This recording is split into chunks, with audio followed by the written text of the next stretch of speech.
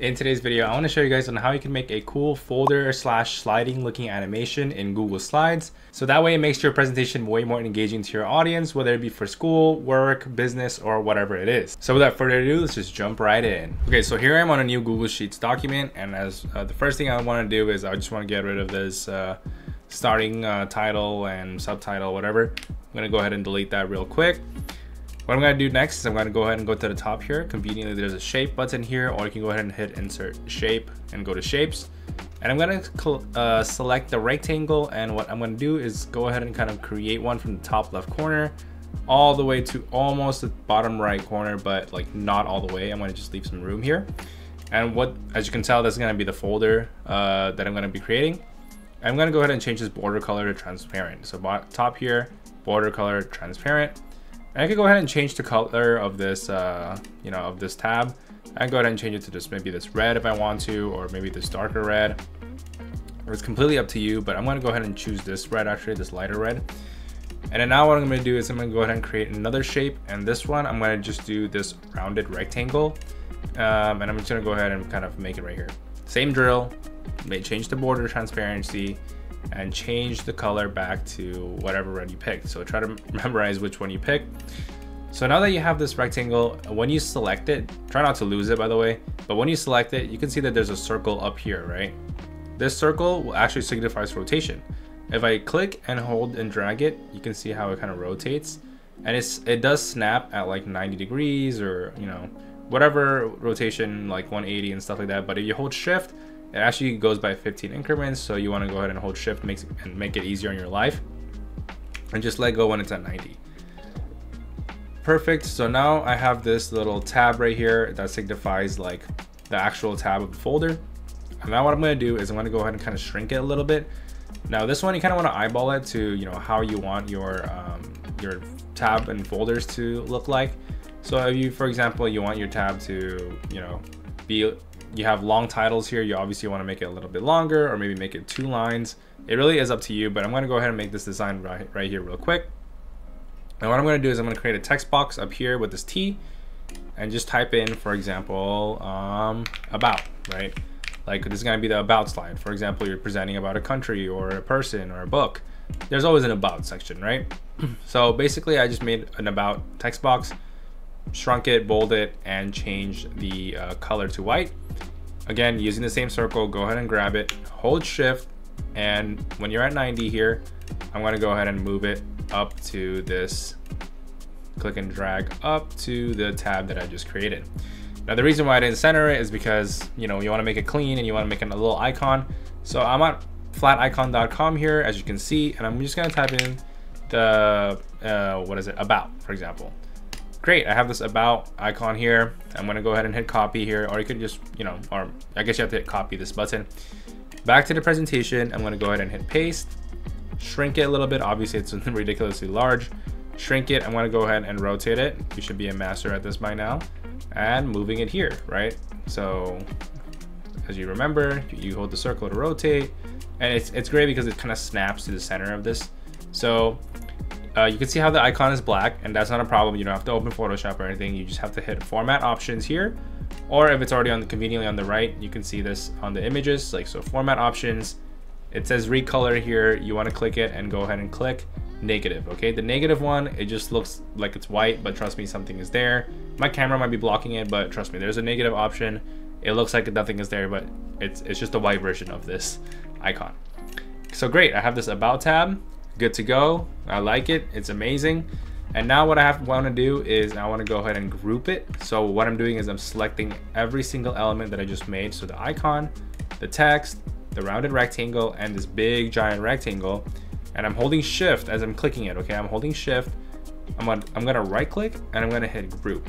So there's also a uh, shortcut here, Control Alt G, but this is gonna be, you know, operating system agnostic, both Windows and Mac. You can just go ahead and do this. So now that that's uh, established and we have this group, you can see that when you move something, the whole thing moves, which is great because when you animate something, the whole thing animates. So I'm gonna go ahead and click this. Um, you don't wanna double click, you just want a single click. If you actually double click, you can click out of it, click back at it again. Hit animate, and you wanna, when you animate, you wanna click fly in from the left because obviously it's going from left to right. You want it to happen on click, or you can just do it like after previous if you want. It doesn't really matter.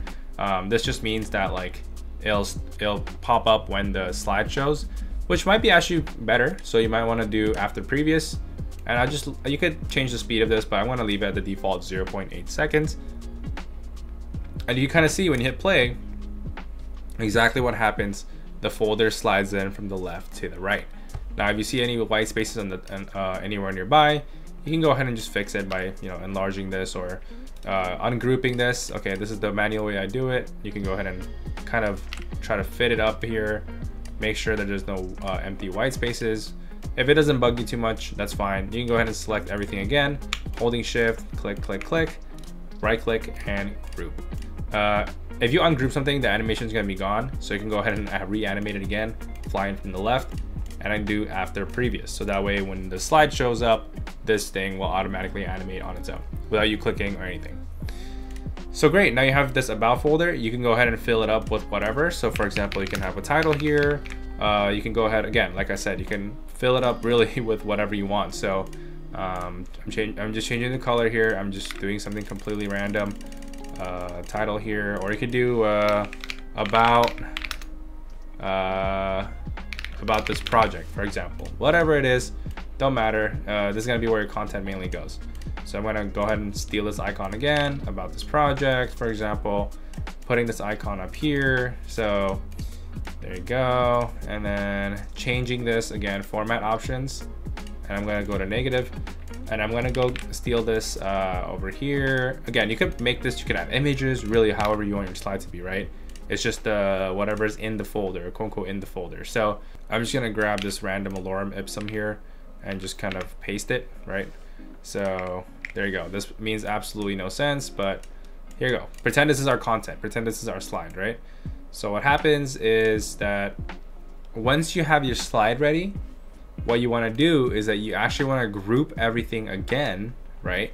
So again, make sure you group everything or you could ungroup first. You could ungroup everything. So everything is like individual items and then, and then group everything into one slide. So you can go ahead and click and drag to select everything. Or again, you could do it manually where you're selecting every single element, holding shift. Doesn't matter whichever way you do it. I'm gonna be efficient and just kind of click and drag. I'm gonna right click and hit group this time, right? So when I group this, this is all one group, it will all move. And again, if it's grouped, when you animate it, everything will animate together. So what you wanna do is again, hit animate, fly in from the left, and I'm gonna do after previous. So now that you get this logic of how this works, you can go ahead and hit play over here and see that, hey, your folder will actually show up from the left. All right, great, that's good. So now let me teach you guys on how you can make another tab or another folder, right? Right in front of this one when you're done presenting this. Very important here, you wanna copy and paste the latest one you have. So if you have five tabs, you wanna copy your fifth one. If you have your, you know, this is my, my first one, we're gonna go second. I'm gonna copy and paste the latest one, the first one that I have. And what I'm gonna do here, very important, is that when I have the second one, I'm gonna remove this animation. So this animation is no longer useful for us because we're not trying to animate the back one again. The back one already showed. But instead, what we're gonna do is we're gonna copy and paste, thankfully it's grouped, right? copy and paste this group, kind of put it behind the other one. And then what I'm gonna do is I'm gonna ungroup it. Okay, very important, I'm gonna ungroup this. So now this is a tab of its own. So whatever I just ungrouped here, it's gonna be the one, the element in the front because I copy pasted it. It just kind of stacks around the front.